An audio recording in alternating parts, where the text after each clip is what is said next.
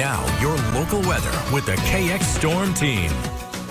Hi, I'm Layla from Glenburn. Hey, Tom, how's the weather? Hey, Layla, thank you for doing that. Hey, Tom, you know what? It's been a pretty nice day. A little hazy with all that smoke in the air, but uh, Layla, thank you so much.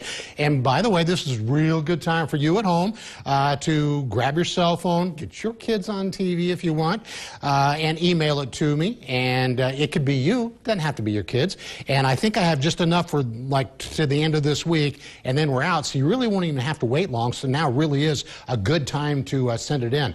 Want to show you the satellite and radar first. Big area high pressure uh, off to our southeast, but these are the steering winds. Now, some of these are clouds, but there is smoke in the air, obviously, from those devastating wildfires in uh, along the west coast. And until this gets, we have a big change in wind direction to blow it out of here, we're going to be stuck with this smoke you know, tonight, probably tomorrow, possibly tomorrow night. We'll have to wait and see how that goes. 78 right now, but you can kind of see it's just not that great of a sky. It's not that cloudy. It certainly is hazy. Same thing in Minot, just not a great color there. 72 degrees.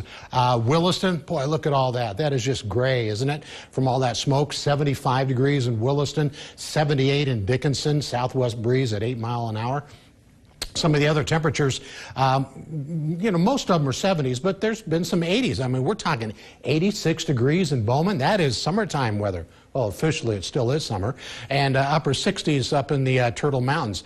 The wind is roughly uh, 5 to 15 miles an hour in most locations. Kind of a southerly flow, certainly not blowing the smoke out of here uh, that we have in place. want to show you Hurricane Sally. And uh, right now it is a Cat 2 and with a 100 mile an hour wind, it's by uh, just after or Wednesday night, Tuesday night, Wednesday morning should be 105 mile an hour wind. So you can see it's going to be a Cat 2, it looks like, when it hits land and then start weakening as it moves up to the northeast. Uh, here we are looking at our precision cast, and this is actually for uh, tomorrow morning, and this doesn't really show any of the haze or anything yet, but we still will likely have a lot of that smoke in the air. Uh, we'll have a bit of a northwest flow here and a little bit breezy. You can tell by the colors there off to the east of Highway 83. A bit more of a cloud deck in the northern counties tomorrow night, roughly Highway 2 to the north, roughly around 7 o'clock. And uh, the next 72 hours for Dickinson, boy, it's going to be hazy and it's going to be breezy, but you might notice kind of a big drop in temperatures from Tuesday to Wednesday. So tomorrow is going to be another warm day in Dickinson and then back into the 70s on Thursday. And for Williston, yeah, it's hazy and it's going to be breezy again for the next couple of days. Uh, 63 is all on Wednesday, so that's quite the drop off back into the 70s on Thursday. Now tonight, we're going to have forecast lows in the 40s and 50s, so kind of a mild night tonight. Again, a little bit hazy.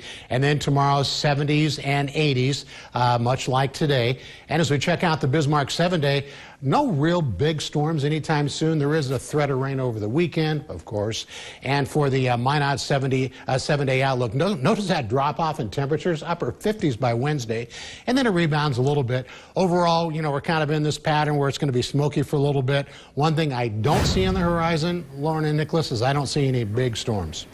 Good to hear. Some good news yes. there. Next in our 5 at 5 cruiser.